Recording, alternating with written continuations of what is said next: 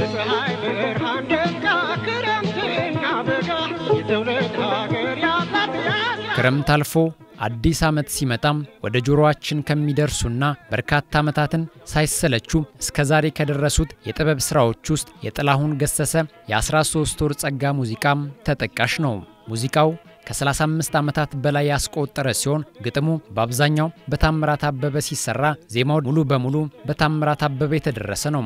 የ13 ወር ጸጋ ሙዚቃም የሁሉም ኢትዮጵያውያን የጋራ ታሪክ የሆነ የበዓላት ወግና ጠረን በውስጡ አቅፎ የያዘ ውብ ዜማ ነው ማለት ይቻላል። ታዲያም የሙዚቃው ግጥምና ደራሲ ታምራት አበበ ከአዲስ ዋልታ ቴሌቪዥን ጋር በአንድ ወቅት በነበረው ቆይታ ግጥምና ዜማውን ለመስራት ያነሳሳውን ታሪክ በእንዲህ መልኩ ተናግሮ ነበር። ጊዮን ሆቴል አካባቢ ብሔራዊ ቲያትር ምናምን ጋር tourist organization ቱሪስት ትኬት መቁረጫው ምናምን የ13 ወር ጸጋ የ13 ወር ጸጋ ይላል። አሁን ይህንን ነገር እንዴት እንዲ ምንድን ነው ይህን ነገር ወደ ዜማ መስራት ይቻላል? አይቻልም፣ አይቻልም ተስፋ ቆርጬ ቁጭ ብዬ ቁጭ ብዬ ለብዙ ጊዜ አሁን አንድ ጊዜ ህጻናት አምባ የሚባል የወታደሮች አለ። እዛ ሲሄድ ምናምን ሳብላላ ምስል ዝም ብዬ እስቲ በቃ ለምን እንደ sketch አላወጣም ብዬ 13 ወር ጸጋ ምን ማለት? መስከረም፣ ጥቅምት ምናምን እንደገና 13 ጳጉሜ ይሄ ነው ትርጉሙ። አሁን ግን በዛ ውስጥ ያሉትን ነገሮች ለምን አልሞክርም? ስሞክር መነሳት ያለብኝ ከቡሄ የሆነ ከዛ ከቡሄ የተነሳውና ልክ መስከረም ላይ የልጆቹም ኮረዳውን ባታሞ ስትል ምናምን ለምን ወራቶቹን በሙሉ ከፋፍዬ ያስኩኝ። መስከረም ችቦ አለ፣ ቡሄ አለ፣ ጅራፍ አለ፣ ምን አለ፣ ህፃናት አለ፣ የሚጨፍር አለ።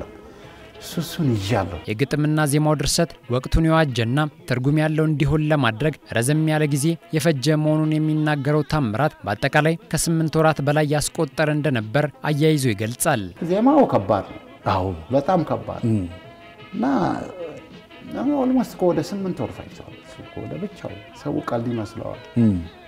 ከዛ በኋላ መዝጊያው ነው የጠፋው። ግንቦት ሰኔም አለፈ።